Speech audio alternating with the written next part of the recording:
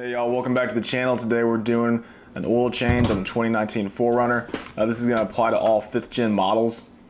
First thing you want to do is grab a 10 millimeter socket and get under your vehicle. There's this plastic uh, valence, it's kind of like a skid plate. There's five bolts. Pull those off real quick.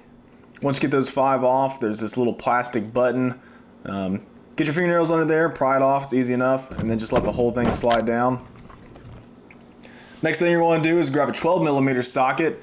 There are four bolts holding in the actual skid plate that protects your oil filter.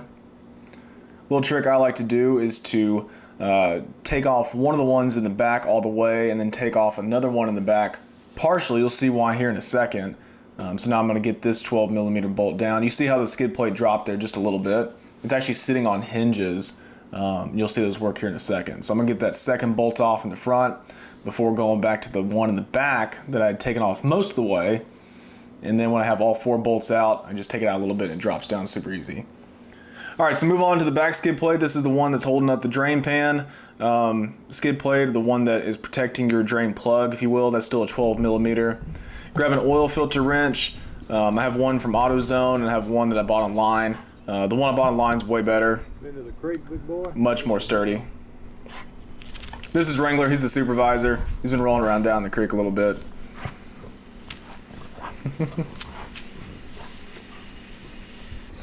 All right.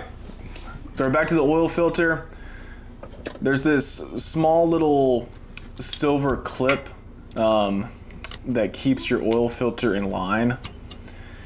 You can usually take a flathead screwdriver to pop it off. I couldn't find mine. Um, well, I could find mine, but it was just in the garage. I had some pliers. Try to get off the pliers. That didn't work. In all honesty, you can just pull it off with your fingers. Should work as long as you don't work in accounting. Um, just rip that little thing off. I think it's just to keep the oil filter in line. There's nothing too crazy about it. All right, so slip your uh, oil filter wrench on there. It takes a 3 8 ratchet to start twisting it off get it going pretty quick, not too bad. You'll notice that little silver medallion thing that's at the bottom of the canister. Um, that takes the 3 8 ratchet, and you can put a ratchet in there, pop that little silver uh, circle off, and then take a plastic piece, jam it up in there, and let the oil drain out. I don't like doing that. I just go ahead and make a mess. Um, but if you want to take that off first and drain it out the proper way, there is a little uh, O-ring behind it that you do have to replace. Not a big deal, but I just choose to go ahead and make a big mess. Seems to be easier.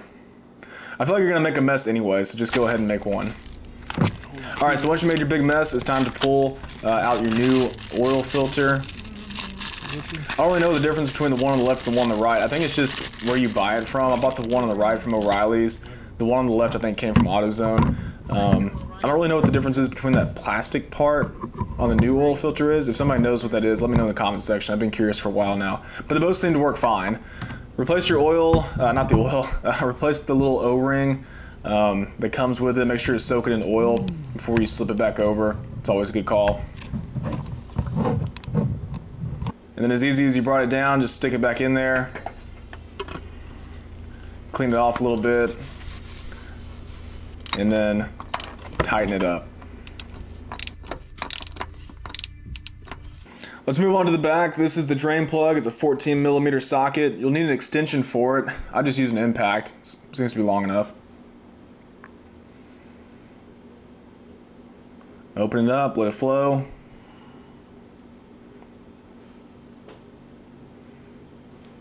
And then once it's done draining, make sure to put it back.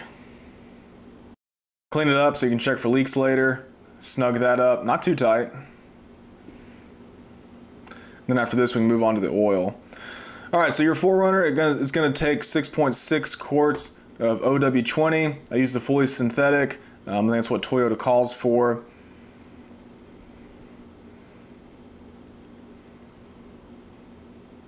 After you're finished with that, make sure you go back under, check for leaks around your oil filter canister, and also check for leaks around the drain plug, and then put your skid plates back on. That's it.